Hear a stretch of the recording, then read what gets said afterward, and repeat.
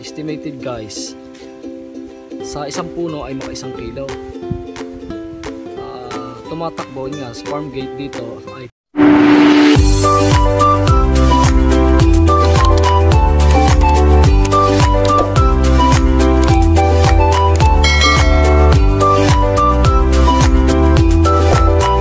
Magandang araw mga kabiyahero.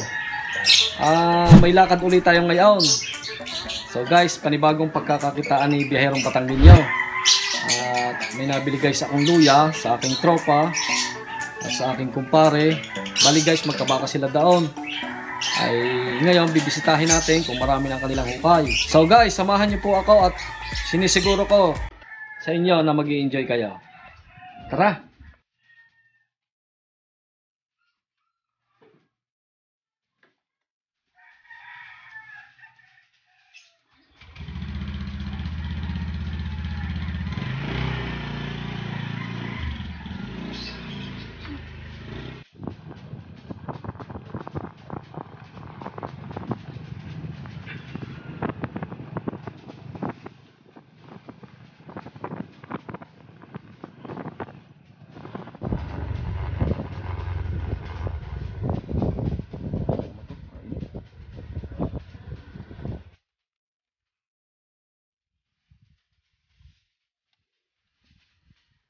Soft drinks, pampa pampapawi ng kanilang pagod, mga kabihero.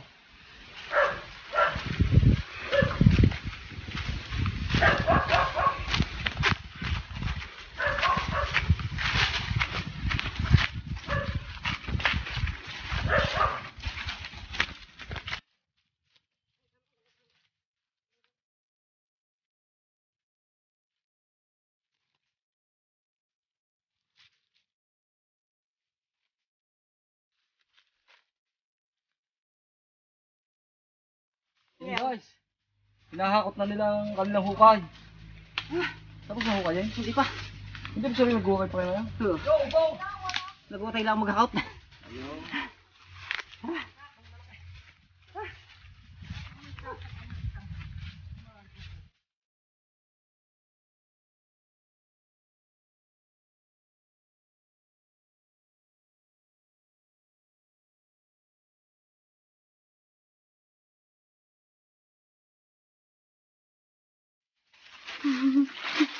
po mga tropang daya pa.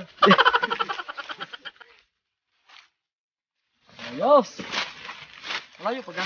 Mga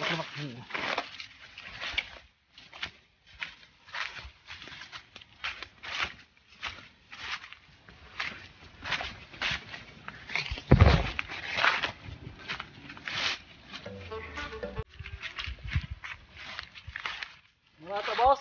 Kaya pa.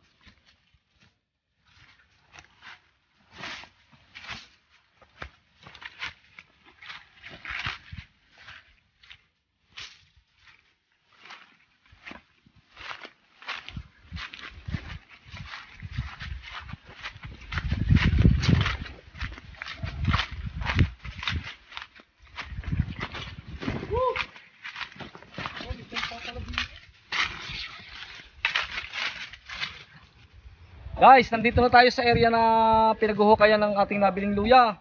At yan guys ang ating nabila, si paring Adonis. Ah, ito po ang klase ng kanilang luya. Ayan. Guys, napaka maganda po ang size ng kanilang luya. Oh.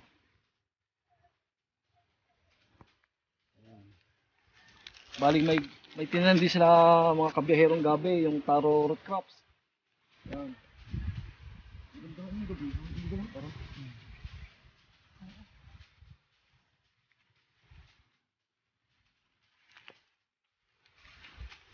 Ah, mga kabihero, tutulong tayo sa ano? Sa pag-alis ng lupa at saka ng ugat.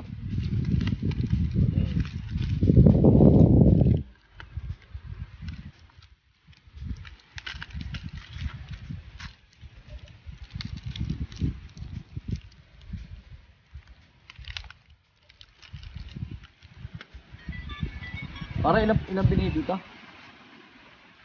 ko lang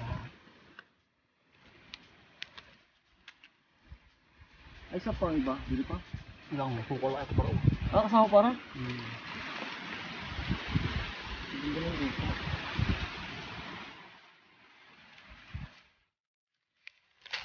mga kabihiraw. Isipin lang natin mga kabihiraw. Sa loob ng pitong buwan, ito guys ay ano, tinanim ito ay May. So, ngayon mga kabiyahero ay December. Ah, January. Bali guys, pumapatak lang ito sa ano, Ah, June, July, August, September, October, November, December, January. Bali guys, papasok pa lang ito sa 8 months. Ito guys, ang resulta. Ito guys ay magulang na. Kasang hindi nga lang guys ito sagad pa ang gulang. At yun nga sabi ko dati, ang maturity talaga ng luya ay ang buwan ng March. Har- ang pag-harvest natin ay buwan ng March para siya ay tunay na magulang.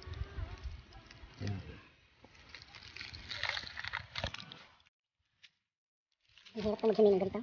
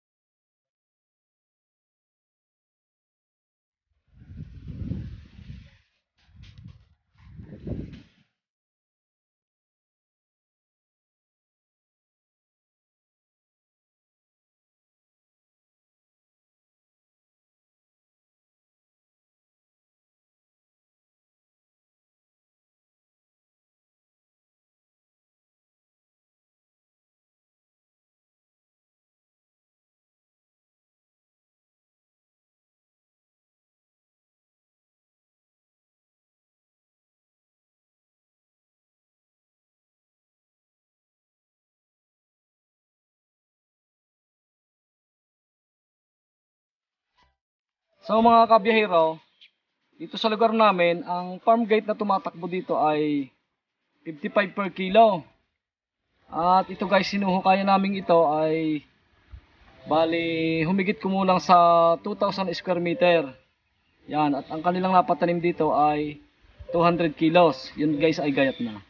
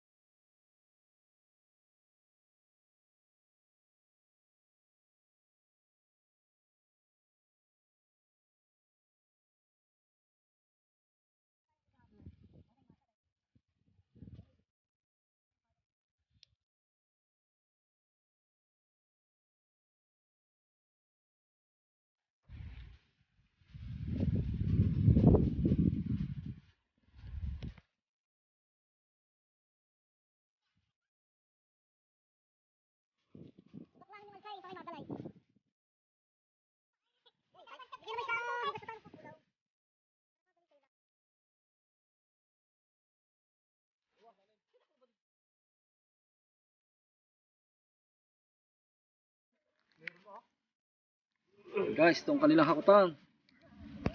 Nahakot nila sa ating jeep. At bukas mga kabihero, saka natin pahugasan.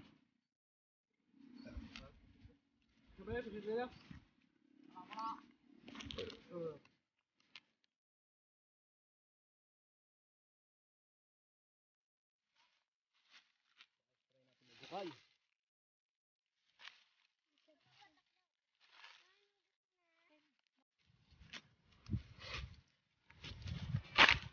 mga kabihero, hindi naman talaga gulok ang panghukay dito. Mas maganda dito yung barita. Yung bakal na mahaba na ganyan kahaba mga kabihero. May barita niyo yung kay Jumong na yun. Dahil guys pagkagulok, medyo mabagal ang trabaho. Kaya dapat barita o kaya yung pinagagawa nating tinidor, yung malaking tinidor. doon. Wow! Amazing.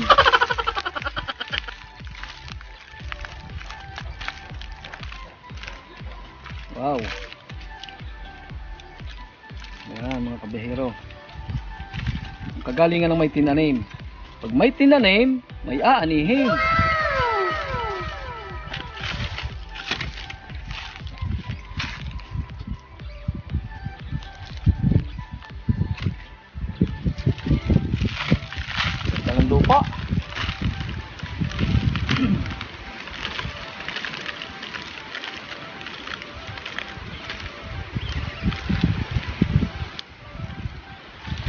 Napakaganda mga kabihero ng lupa ng natamnan ng ating mga tropa. At ito guys ang mga kahit sa kamay nadadala siya. Kaya guys kung sakali at kayo ay magnanais magtanim ng luya so guys ang pipiliin yung lupa ay yung malambot hukayin, yung buhaghag o kaya yung nagbubuha-buhangin yun kabi- kabiyahero ang katugma ng ating luya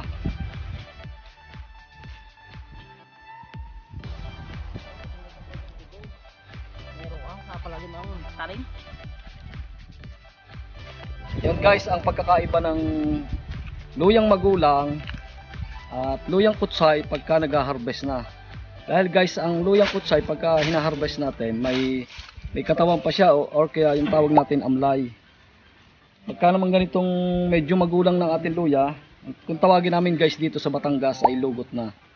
Kaya wala na siyang tangkay. Ito guys, oh, makikita nyo. Yan, itong hayan yung mga kabihero. Yan. Wala na siyang dahon. Pero guys, yun nga sabi ko, hindi pa ito sagad ang gulang. At ang tunay na maturity nga ng luya ay sa buwan ng March. Okay. Yan. Dahil guys, pagka buwan ng March natin hinarvest, o pwede kung sakalit may naka repair na tayong taniman, o pwedeng pagkahukay natin, pagkatapos gayatin, tuloy tanim na. Yun ang kagandahan di kabiyahero ng harvest ng buwan ng March.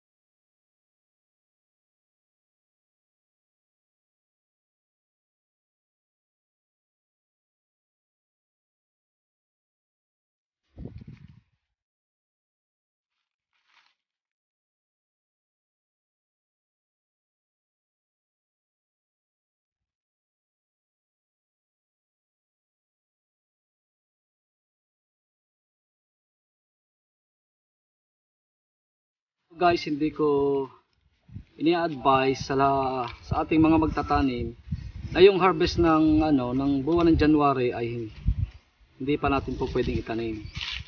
Kung siya man guys ay magulang, ibig sabihin hindi pa sagad. Kaya hindi pa natin pwedeng itanim. Harvest ito ng buwan nga ng January ay yun nga ang kasabihan. Pagka raw may sinuksok ay may madudukot. Kaya dinukot na nila ay wala pa nakasuksok dito. Yung kabihero ang dahilan. Ibig sabihin, kailangan nila ang budget. Kaya nila hinarvest. Yun.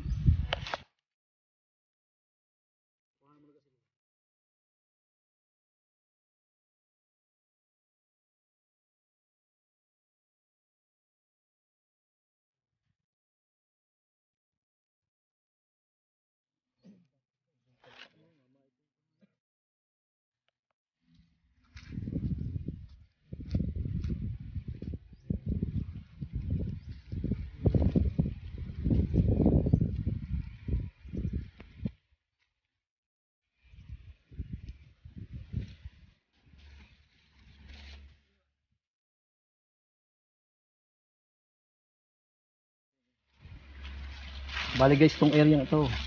Yan, may tanim pa yan. Yan. Makikita nyo kahit kahit siya ay may damo. Hindi natin napapansin. Yung pala may may ano. May nakatanim pa. Yan, kabihero, oh, luya oh. Yan. Yan. Oh. Luya. Yan. Yung iba guys may amlay pa. Yung iba naman talagang totally wala na. Guys, tutulong tayo sa paghahakot. Para tayo ipawisan din. Nagaw, paatan.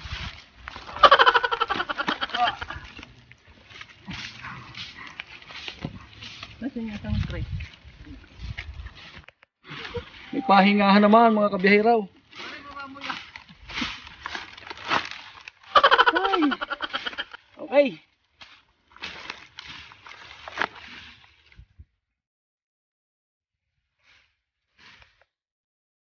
Madalang ang tanim ng akin. Napadala. Ari una nyo, nyo kaya na ako. Yun nga mga kabihiraw. Ah, bali sila ay anim na magkakapartner dito. Ibig sabihin guys, dito sa Salitang Batangas, magkakabakas. Ito sa kanilang luyang ito. Yan si Lago, si paring Bardeng, paring Adonis, Jumong, si Regan, saka si Baye. Yan mga kabihiraw. Bali, anim sila magkakabakas.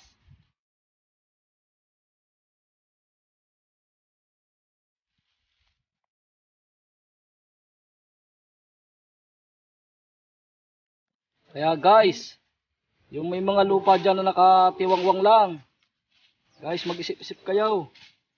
At yun nga, gaya ng sabi ko, kayo ay may binhi ng luya, ay ilagay nyo sa lupa nyo nakatiwangwang, at malilinisan na, magkaka-income pa.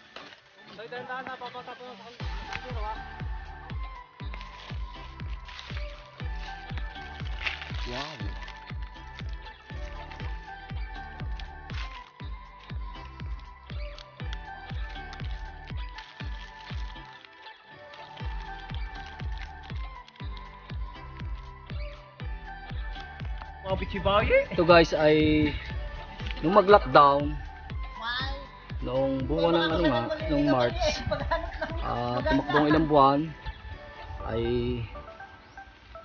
ang mga tao dito guys sa amin sa lugar namin ay di, hindi nga makalis so guys ang pinagkaabalahan nila ay di pumunta nga sa gubat hanggang sa may nabili, may nabili silang binhi ng luya kaya ito guys ang ang naging resulta nung mag-lockdown. Ang uh, pagkaabalahan nila ay magtanim ng luya at saka ng gabi root crops. Yan guys ang isang advantage pagka tayo ay nakatira sa probinsya. Dito sa ika nga sa bundok o kaya bukid. Ah, marami tayong nagagawang pagkakabitaan.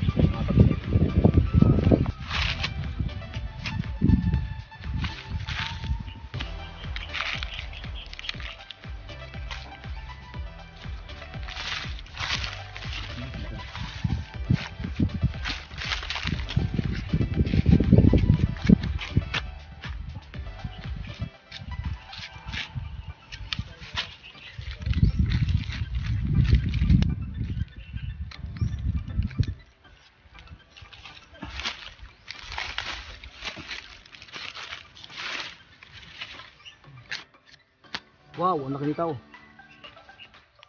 Wow. Wow, super laki mga kabihiraw. Nakakatuwa. At guys, pagka ganito nag-harvest na, yun nga ang pinakamasayang episode. Pagka nasa harvest time tayo mga kabihiraw.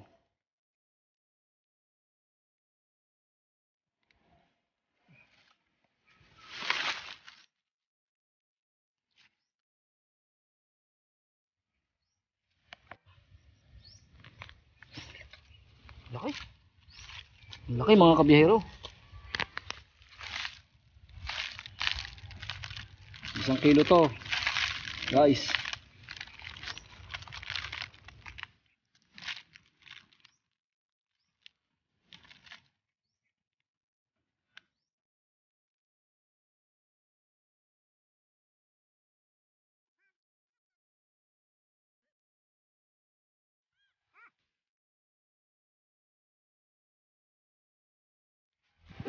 Tulad nga kabiyahero na estimate ko na kung sakali sa isang lot area natin ay magkaroon tayo ng 500 puno or 500 butas ng ating luya ah, estimated guys sa isang puno ay maka isang kilo Ah, tumatakbo nga sa farm gate dito ay 55 ita times natin 55 times 500 Ngayon muna kabihero. Tayo sa malilom.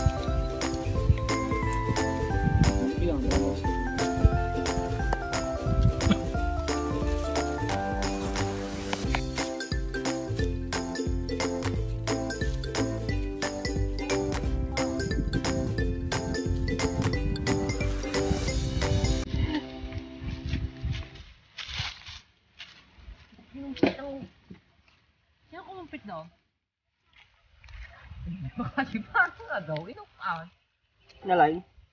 Hello. Yung makaung din yung butiting iya. Ang bato.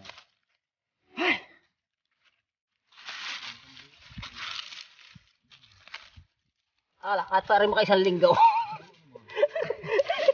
Basta marami mo kukuha.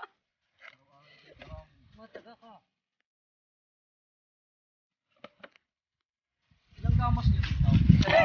Sobra sisipag. Napakasisipag ng mga... Isang gamas eh, sobra sisipag.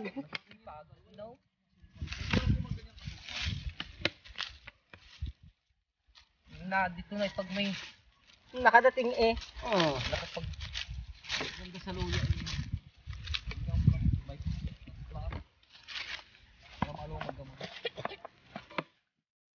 Mataga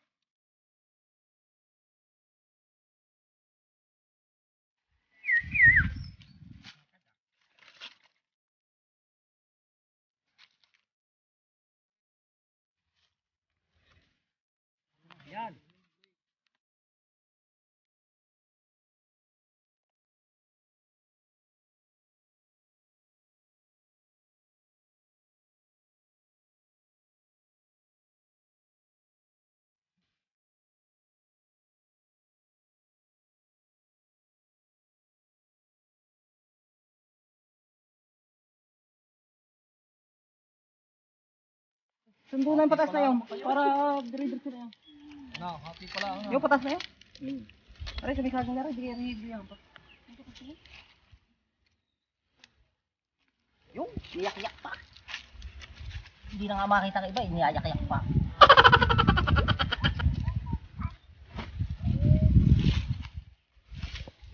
Ano ulit pumasang kaya?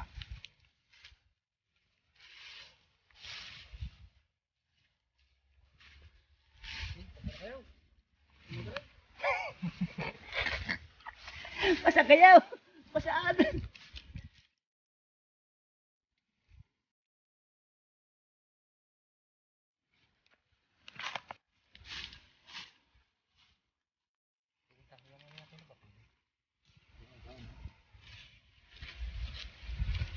Guys, makikita nyo lalo ang ganda nito pagka ito na power spray ko na. Kaya mga kabiyahero, abang-abang na lamang.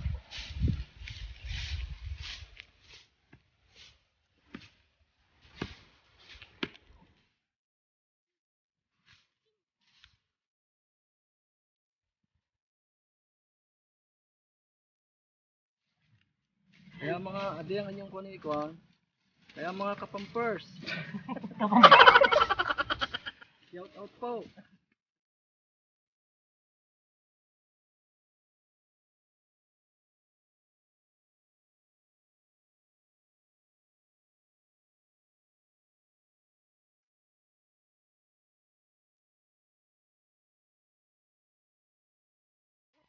Yon mga kabiyahero, hindi natin natapos ngayon ang hukayin. So guys, ah, bukas uli. At medyo maluong pang ating haharbisin. At ito mga kabiyahero, hahakutin na ng ating mga tropa ang second batch ng kanilang nahukay na luya. Okay guys, tara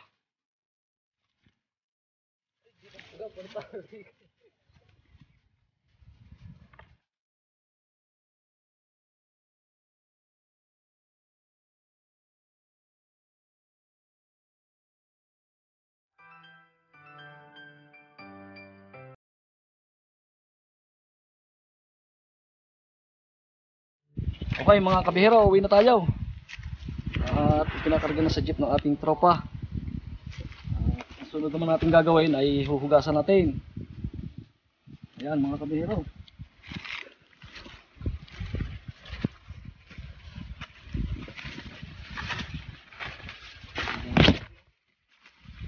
Ganda ng kanilang gabi. Guys.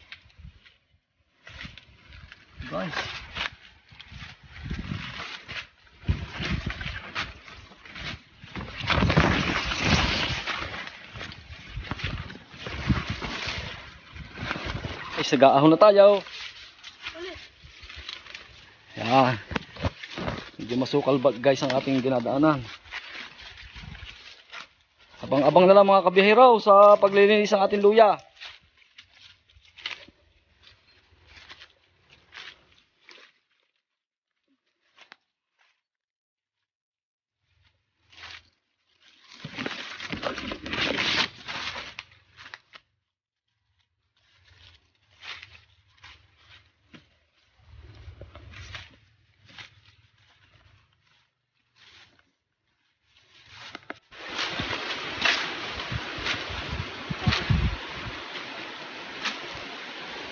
Guys, malapit na tayo sa kalsada.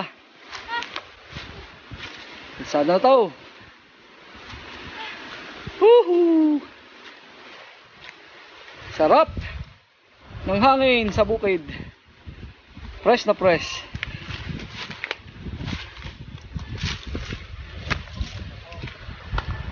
Guys, nasa kalsada na tayo.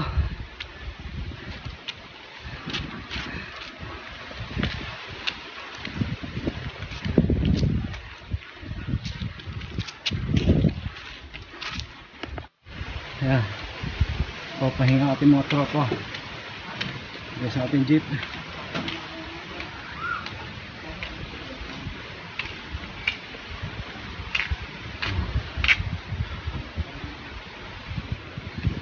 Hinihingal sila.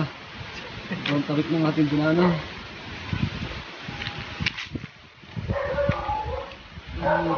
Guys, saluyan lang ang harvest. Malait. Ah, talagang maingat sila sa pagsasalansan mga kabiyero.